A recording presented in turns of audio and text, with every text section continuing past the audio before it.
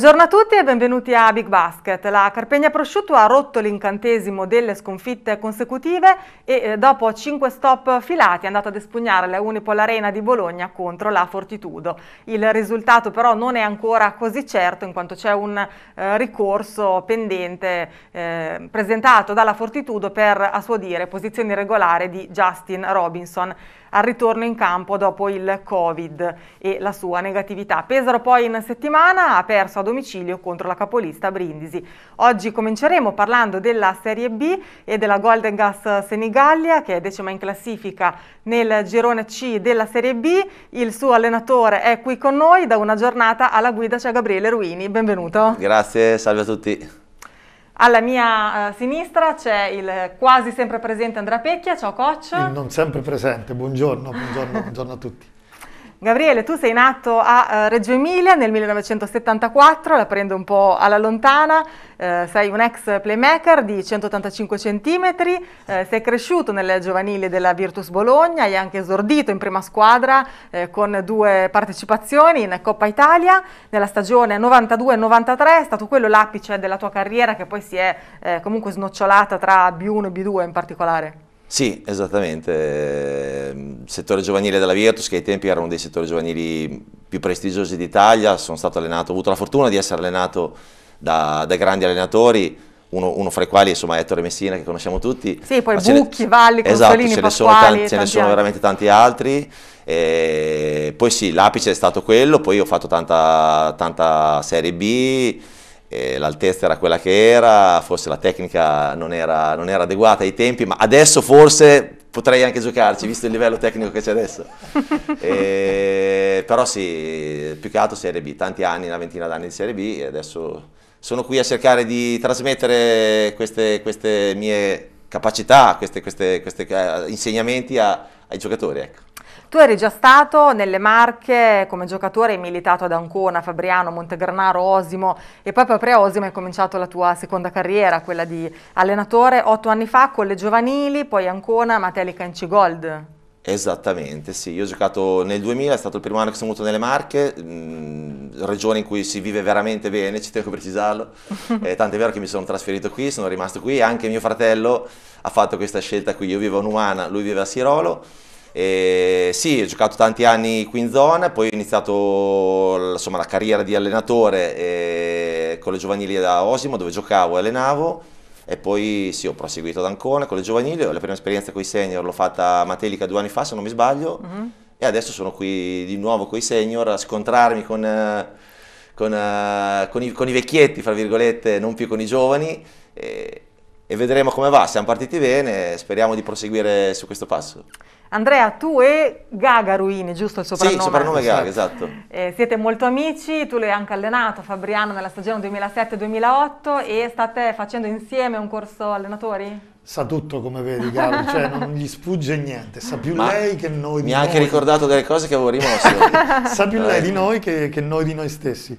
Allora, Gabriele l'ho conosciuto a Fabriano nella stagione in cui io ero assistente di Massimo Bernardi, lui arrivò a metà stagione più o meno, mentre con noi era presente il fratello, c'era Fabio, venne aggiunto agli allenamenti, quindi immaginati che, eh, come, come, noi aggiungevamo ragazzi per gli allenamenti, e da lì l'ho conosciuto, poi ci siamo sentiti molto spesso, ci siamo visti molto spesso in giro qui nelle Marche, poi abbiamo fatto per metà da novembre, da ottobre scusami, fino a novembre un corso per gli allenatori nelle Marche in quanto io sono formatore nazionale, Gabri deve fare dei corsi per diventare formatore, è in attesa di fare dei corsi, adesso è tutto sospeso, quando li farà gli piace questa attività qui, quindi con me ha fatto il corso di allievo allenatore, ci conosciamo da tempo, ci sentiamo spesso, bolognese simpaticissimo, quindi sia lui che Fabio che il fratello sono due simpaticissimi ragazzi del basket. Beh, un allenatore esperto e carismatico, Gabriele.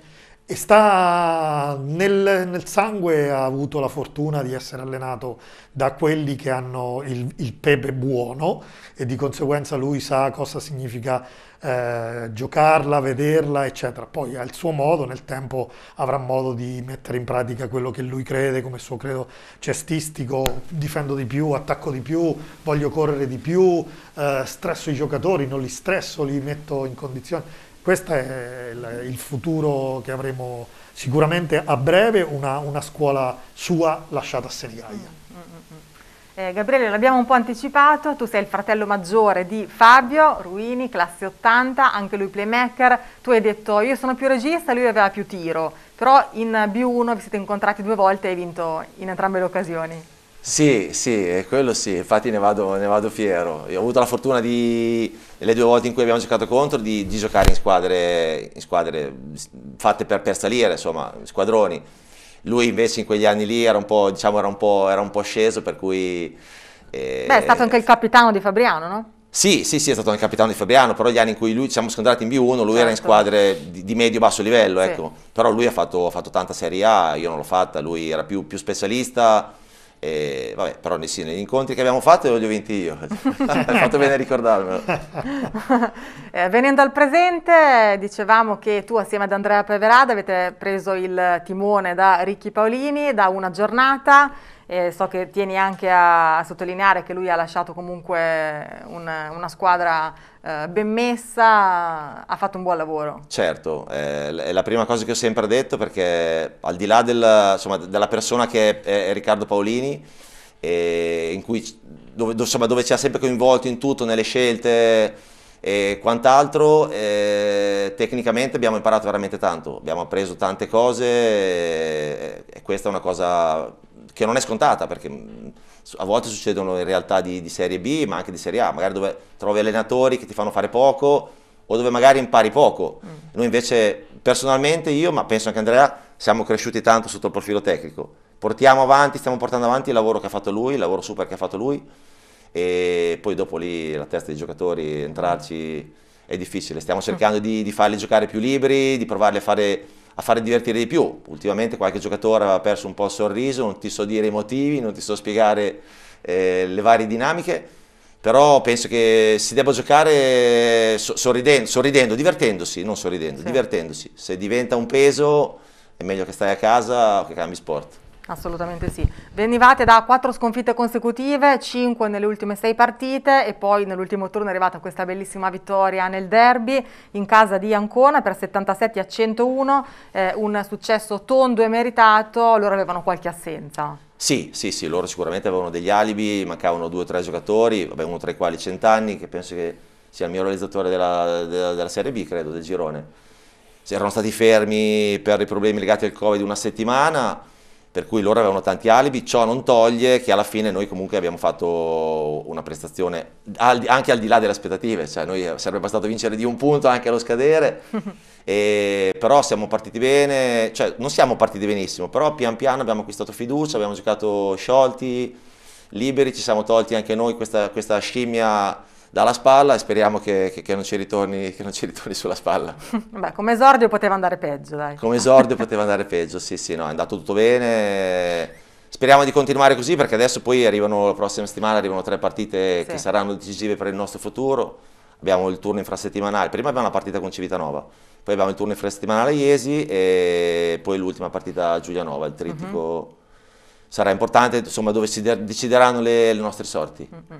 Andrea, tu come vedi la Golden Gas allenata da Gabriele Ruini, ha dominato la Luciano Mosconi, ha mandato 5 uomini in doppia cifra, il miglior marcatore eh, dell'incontro Peroni con 23 punti, top scorer assieme al Dorico Caverni.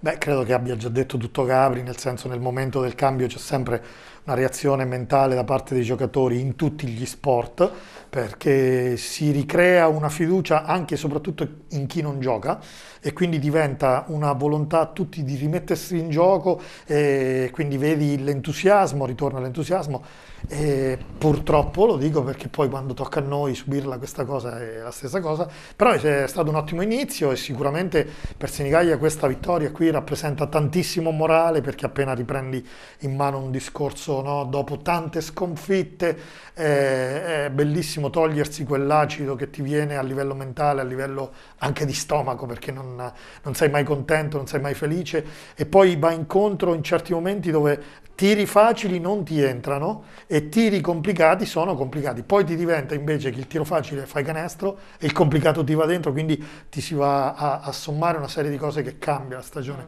E ben per Senigallia vediamo quello che succede nel proseguo. Eh, coach, per voi finora 7 vittorie e 9 sconfitte, restano 6 partite da giocare, qual è l'obiettivo della stagione? L'obiettivo della società è raggiungere la salvezza il prima possibile. Eh, sono il nono, il decimo, l'undicesimo posto, sono gli obiettivi da raggiungere.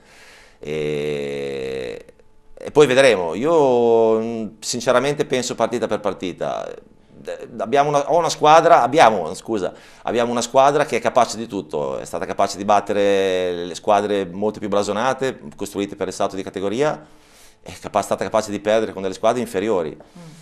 Conterà molto l'aspetto mentale sicuramente, conterà molto anche l'aspetto fisico perché ci sono molte partite ravvicinate e la mia intenzione è di fare ruotare di più i giocatori per, insomma, per, per affrontare queste tre partite che saranno decisive che saranno decisive per noi. Ecco. Il mese d'oro è stato gennaio con quattro vittorie il in partite. Il mese d'oro esatto è stato gennaio, sì, in cui stavamo bene, giocavamo bene, eravamo in fiducia e poi di punto in bianco sono cominciati un po' di malumori, qualche problemino fisico di qualche giocatore e dopo lì è entrato, è entrato in campo l'aspetto mentale magari alcuni giocatori non, non, si sono chiariti, non hanno esposto i loro problemi, quali erano le loro, le loro idee. Ecco, alla fine io penso che tra i giocatori e l'allenatore ci debba sempre essere un confronto. E soprattutto col, col, col, col, playmaker che è, che è l'allenatore in campo, uh-huh. ci debba sempre essere un confronto. Poi magari lui la pensa diversamente e, e giustamente decide l'allenatore, però il confronto ci deve sempre essere. Adesso come state? Siete al completo? Adesso state bene, bene, fisicamente sì, sì, mentalmente? Sì, stiamo bene, siamo al completo, ci stiamo allenando bene. Mm, mi sembra che si divertano allenandosi e insomma poi dopo sabato vedremo, vedremo i risultati. Eh sì, si gioca tra eh, poche ore. Tra poche ore, esattamente. Adesso dobbiamo fermarci, c'è il nostro consueto temato pubblicitario, non andate via perché torniamo tra pochissimo.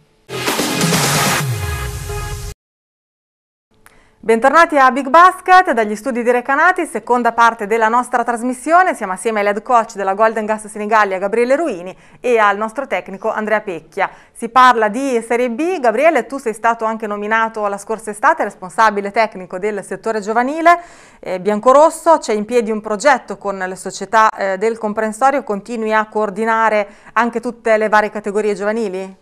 Sì, eh, continuo a coordinare anche le categorie giovanili, infatti non ti nascondo che, che la settimana scorsa ho passato due notti, due notti, difficili perché tra responsabilità della prima squadra il settore giovanile ho, ho, fatto proprio fatica a dormire.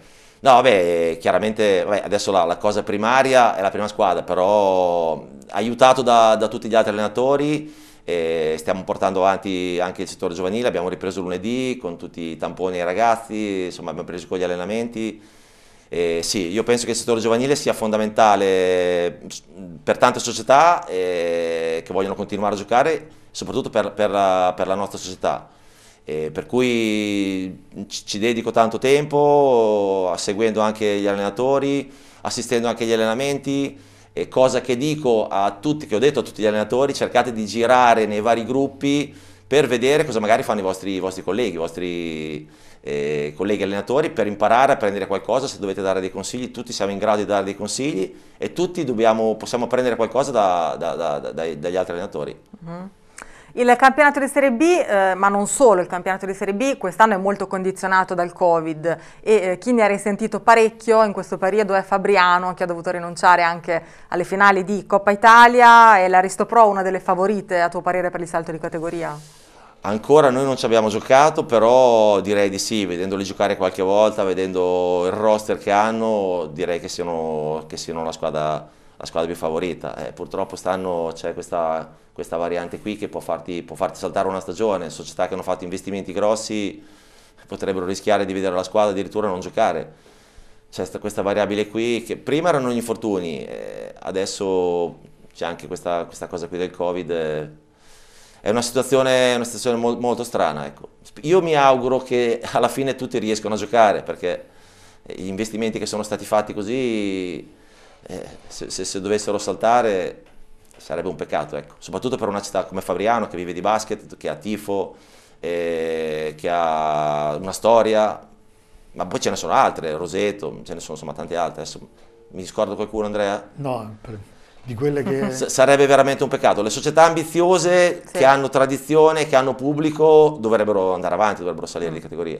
È comunque un campionato molto equilibrato in testa e in coda.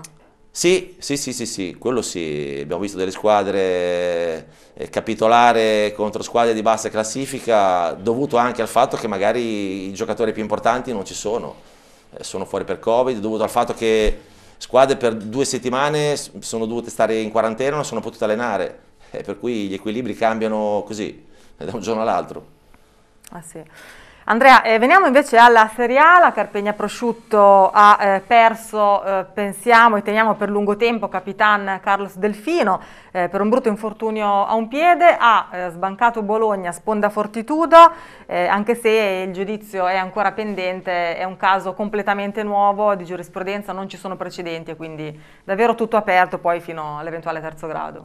Guarda, faccio il fenomeno questa volta dico che non c'è qualcosa di scritto che dice se tu giochi con un giocatore che poi non ha fatto completamente la quarantena o il recupero, eh, perdi la partita, eccetera. Quindi io non credo che possa Bologna vincere questo ricorso. Uh, al di là del fatto del concetto che l'importante è che il giocatore era in salute e che non sia stato mezzo di trasmissione del, del virus. Detto questo è una partita, una sconfitta che eh, se eh, Bologna ricorre non ricorre con una giusta causa dovuta a un tesseramento sbagliato, a qualcosa, cioè è una normativa tra l'altro anche nuova che io non so quello che, che potrebbe venire fuori da, da parte del giudice, quindi per Bologna dovrebbe essere essere una cosa da accettare sul campo, però vediamo quello che dirà il giudice. A Bologna 10 assist per Kane e 13 rimbalzi offensivi di squadra, bene da 3 dopo un periodo così così e con Brindisi invece malissimo da 3 e in difesa questo mercoledì scorso.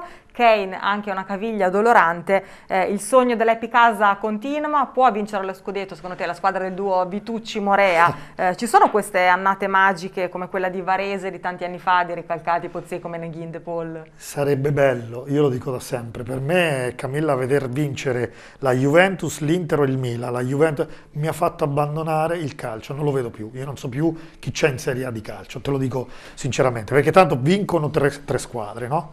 E quindi se sapere che vincono tre squadre a me non mi piace. Nel basket invece c'è stata comunque sia un giro, purtroppo non al sud, questo è storico, cioè non ci sono società e soprattutto al sud oltre Caserta e quella vittoria di Caserta sta su Rai 3, su, voglio dire, sono tutti famosi quelli di quella vittoria. Okay? Che cosa significa? Questo è bello, rende la cultura nostra ancora più ampia. Brindisi che possa vincere lo scudetto, secondo me se lo augura tutto il sud ok? In più se lo augura parte di coloro che non vogliono vedere le stesse cose. Se vince Milano, lo vince con merito perché ha il budget grosso, l'allenatore bravo, la squadra completa. Però nella realtà vince una squadra che alla fine chi vince è come per dire è stato fatto un lavoro normale. Vince Brindisi potrebbe invece, vince, adesso stiamo facendo fantabasket perché non sappiamo se nella corsa non rientra Venezia, non rientra Sassari, cioè non mm-hmm. sappiamo Beh, che può... poi sarebbero aperti, però è una bella favola che ci piace seguire, certo, questo. Questo questo è, è eccezionale. In America che cosa succede? Succede che quando vince una, un club che non è il solito club, gli americani impazziscono e da lì nasce il business vero perché tutti vogliono vedere. Da noi c'è questa cosa che poi alla fine... Però Milano non è detto che vinca mm. lo scudetto, non è, eh proprio, non è proprio, visto come sta Brindisi. Quindi chiudo dicendo di Pesaro anche la, la, la sfortuna di, dell'infortunio di Delfino, eh, questa sconfitta con Brindisi ci stava alla grande, magari non con questo divario, divario perché poi rende un po' di scontentezza, no? Quindi, eh, ci stavo con un divario minore. Beh sì, Brindisi è l'unica che ha battuto due volte Milano e due volte la Virtus Bologna, quindi primo posto assolutamente meritato, però effettivamente Pesaro eh, deficitaria e mai in partita con la capolista. Non, non, è una partita che ti interessa, poi se la vinci è felice tutto il mondo, se la vinci fa il capolavoro, però beh, perdere con Brindisi è ammissibile. Invece ci sono state delle sconfitte precedenti, però vedi il Covid ha reso, eh, no, ha, ha dato il contributo fermando eh, il playmaker, eccetera. Poi la Coppa Italia ti ha dato quella gioia che alla fine ti ha sgonfiato la testa e quindi sei arrivato nel campionato più, tra, più meno combattivo rispetto a prima. Ci stanno, tutti questi cambiamenti ci stanno, uh-huh. succedono durante l'anno. Sì, speriamo che si aggiusti la difesa e che si trovino alternative al tiro da tre. Eh, Gabriele, tu stai seguendo il campionato della Carpegna Prosciutto, il campionato di Serie A. Pesaro rispetto agli ultimi anni sta facendo decisamente meglio, però ha vinto una delle ultime sette partite. Sì, sta facendo decisamente meglio, lo seguo, più che altro seguo la Virtus Bologna, che è la squadra dove sono cresciuto, dove tra l'altro gioca anche un, un anconetano che ho avuto la fortuna di allenare, sì. Alessandro Paiola. E sì, ho visto delle partite di Pesaro, sicuramente quest'anno la squadra eh, tecnicamente è, è migliore rispetto agli anni scorsi e, però ho visto un'identità difensiva che non c'era e ci sta, in questo momento qui ci sta, c'hanno dei giocatori fuori e Brindisi sta giocando veramente bene, sta giocando un basket eh, bello da vedere, sono proprio un gruppo, mi danno, mi danno l'idea di un gruppo compatto che si divertono a giocare insieme, c'è feeling con l'allenatore che, che reputo veramente, veramente uno dei migliori di tutta la Serie A. La Virtus Bologna a proposito ha mancato di un soffio eh, la conquista della finale di Eurocup e quindi la prossima Eurolega, È peccato triste. per Paiola. Esatto, esatto, devo dire che sono, in questi giorni qui sono in lutto perché l'obiettivo stagionale di ritornare sì. in Eurolega è fallito, ah, sì. adesso ci rimane solo il campionato che prima, fra virgolette, snobbavano mi auguro che, che, che, che, si possano riprendere col, col campionato, anche se insomma, penso che psicologicamente una mazzata del genere possa anche incidere. Spero di no, ma speriamo, speriamo che, che, si riesca a ritornare insomma, concentrati sul campionato per provare a vincerlo. Alla fine i mezzi ce li hanno, il roster c'è, eh, speriamo nel campionato italiano. A proposito del campionato, veniamo ora ai quadri delle partite del weekend, cominciando come sempre dalla Serie A dove c'è la ventottesima e terzultima giornata di stagione regolare. Oggi a X Armani Exchange Milano, Virtus Gaffredo Bologna, domani Germani Brescia contro Banco di Sardegna Sassari, Allianz Rieste Carpegna Prosciutto Pesaro, ore 17 su Eurosport 2 e ancora Umana Rair Venezia, Fortitudo Lavoro più Bologna, De Longhi Treviso contro Open Geometis Varese, Acqua San Bernardo Cantù, Una Hotels Reggio Emilia e Epicasa Brindisi, Vanoli Cremona. Andrea Trieste non sta vivendo un momento brillantissimo, viene da quattro sconfitte consecutive. Allora, è nel momento clou la stagione perché se guardiamo la classifica 16 l'ultima, 18 parecchie squadre, Pesaro lì e poi eh, Trieste eccetera. Questo è un incontro bellissimo da dover vedere perché in campo ci andrà la squadra, cioè andranno le squadre completamente nuove perché adesso inizia la parte finale. Quindi questo è il momento in cui ogni gara vale doppio e in campo si vedrà un bel combattimento.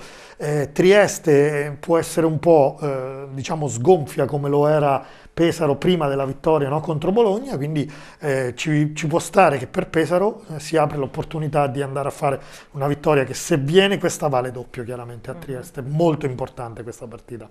Cantù Reggio Emilia è un drammatico spareggio.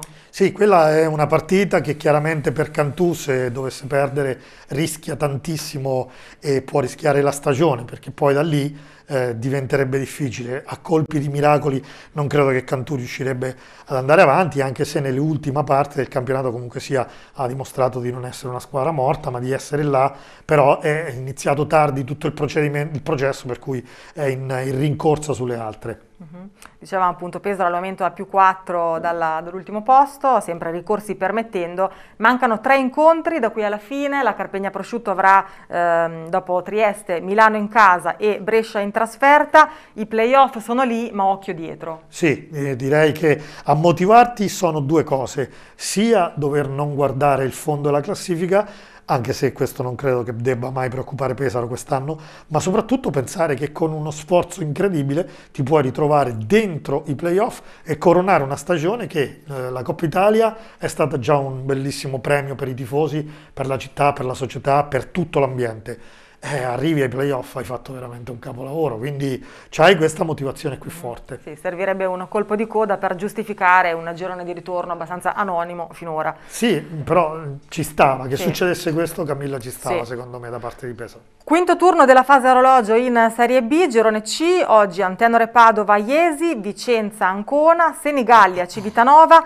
Cividale, Montegranaro e Monfalcone, Fabriano. Eh, Gabriele, voi riceverete eh, Civitanova che è penultima con 4 punti meno di voi. Che partita ti aspetti? Mi aspetto una, una, brutta partita, una partita carica di tensione, una partita sporca. Penso che loro proveranno a, a metterci pressione addosso per non farci giocare e sicuramente saranno due punti fondamentali eh, sia per noi che per loro. Noi giochiamo in casa, siamo in fiducia, però non ci dobbiamo rilassare. Mm, daremo tutto quello che abbiamo eh, cercando di far ruotare anche i giocatori perché poi, io, perché poi giochiamo mercoledì. Esatto, mercoledì a Iesi nell'infrasettimanale. Esatto, esatto, per cui non vorrei spremere troppo i i più, più anziani, fra virgolette, per cui avrò, avrò, bisogno del contributo di, di, tutti i giocatori, già gliel'ho detto in settimana di farsi trovare pronti, la prima qualcuno l'ha giocato poco, delle seconde linee, fra virgolette, per cui saranno, saranno fondament sarà fondamentale anche il loro, il loro contributo. Iesi va a Padova, in casa Antenore, difficile ma non impossibile. Difficile ma non impossibile, però reputo Padova una squadra quadrata di giocatori esperti che giocano insieme da tanti anni per cui si conoscono se non hanno assenze, non so se gli rientra il playmaker eh, De Nicolao, se non mi sbaglio, che è fuori da un po'. Sì, Francesco. Esatto, e se hanno anche il playmaker e sono al completo, è tosta, è tosta, è veramente tosta. Il campo, il campo a Padova, là, vabbè, non c'è pubblico, però in casa giocano veramente bene. Cioè, hanno un allenatore che ti fa giocare bene, eh, seguono quello che gli viene detto, è tosta. Ancona sarà a Vicenza, vorrà rifarsi dopo la sconfitta con voi, ma l'incrocio è duro.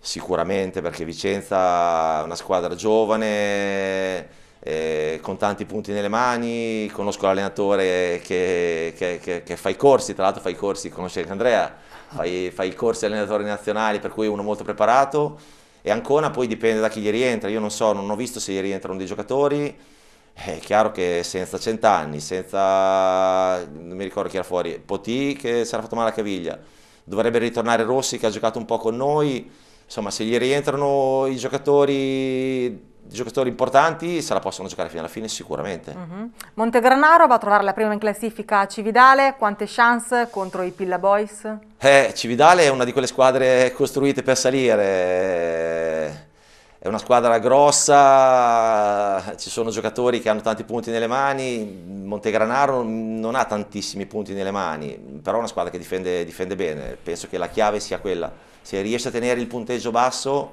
forse se la può giocare, mm. se questi arrivano a 80 punti eh, la vedo dura, la vedo molto dura. Infine Monfalcone Fabriano. Monfalcone Fabriano, si gioca a Monfalcone Fabriano? Non te lo so dire. Al momento eh, eh, registriamo non siamo Dico certi. Fabriano perché Fabriano ha un roster che è da categoria superiore, sono in tanti, e anche se Monfalcone non pensavo fosse, insomma, arrivasse dove è adesso, eh, anche loro mi sembra che abbiano cambiato allenatore, metà, metà campionato, e siano, siano, sicuramente migliorati, però il roster è nettamente più, più, più importante quello di Fabriano, di, dico Fabriano. Andrea, una tua chiosa su Senigallia e sul derby odierno con Civitanova? Beh, ha detto tutto già Gabri, l'ha presentata benissimo, indubbiamente queste sono partite che se poi c'è del, del, sano agonismo, chi rompe l'equilibrio, se prende un bel vantaggio lo può tenere, e chiaramente il Senigallia se va sopra nel punteggio deve riuscire a tenere Civitanova sotto per non dargli speranza, allora magari può succedere questo, se invece va la partita nel finale, dopo le partite ecco, si giocano punto a punto e questo cambierebbe tutto. Uh mm-hmm. Bene, è davvero tutto per questa puntata di Big Basket. Ti ringrazio infinitamente l'head coach della Golden Gas Senigallia, Gabriele Gagaruini. Grazie, grazie a te. Un grande in bocca al lupo per il proseguo della stagione. Viva il lupo! Ringrazio il nostro bravissimo coach Andrea Pecchia. Grazie, in bocca al lupo Gabri e grazie alla bellissima e bravissima Camilla Cataldo, come al solito. Ecco. Grazie mille a tutti voi, ci vediamo sabato prossimo.